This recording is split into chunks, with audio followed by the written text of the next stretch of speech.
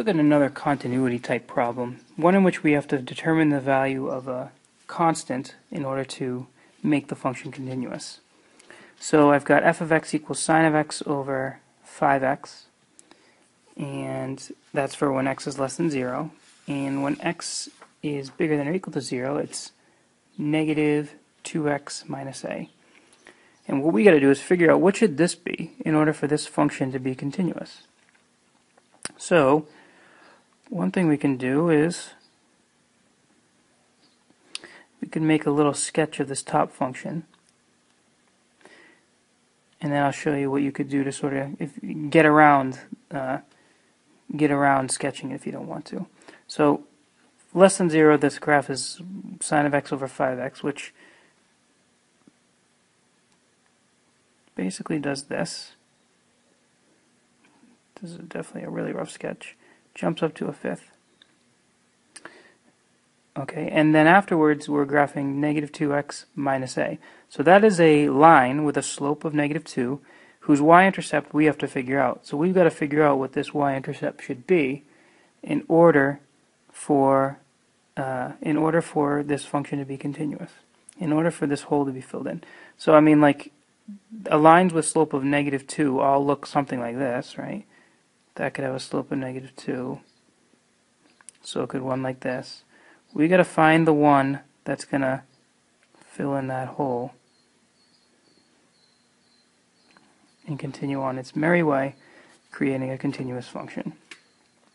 So I think, it, I mean, just looking at the picture, it's pretty clear what it is, right? If we need this y-intercept of the line to be one-fifth, that would only happen if a is equal to negative one-fifth. Again, negative one-fifth because we already have a minus here, so minusing a negative would make it a positive. Right, so if a is negative one-fifth, then this piece becomes negative 2x plus one-fifth. So that's a line with a slope of negative 2 with a y-intercept of one-fifth, and that will be exactly the one we need. Now, all of this is sort of dependent on my prior knowledge of these graphs, right? I mean, of course, a graph of a line I would expect you should be able to handle.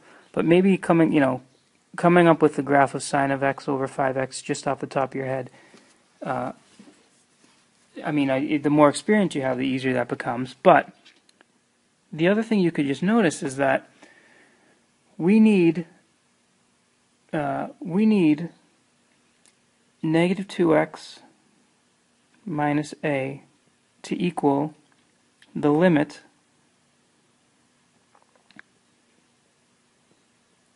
as x goes to 0 from the left of sine of x over 5x.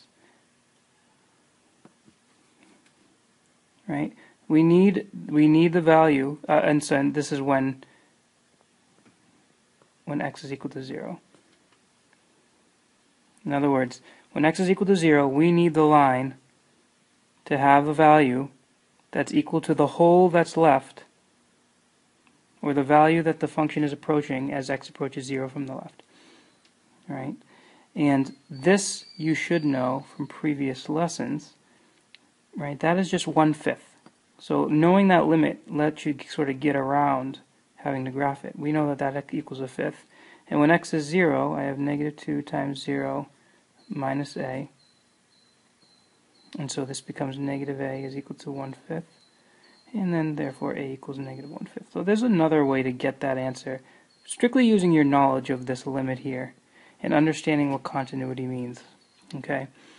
Um, and again, why is this continuous at this point if a is a fifth? Because now f of 0, or I'll start this way. Now we know that the limit as x goes to 0 is equal to f of 0 because the limit when x goes to 0 is clearly from the picture a fifth and that's clearly equal to f of 0 which is what we get when we plug in 0 into this function because of how the piecewise is defined that's one fifth. So the answer to the question is a should be negative one fifth.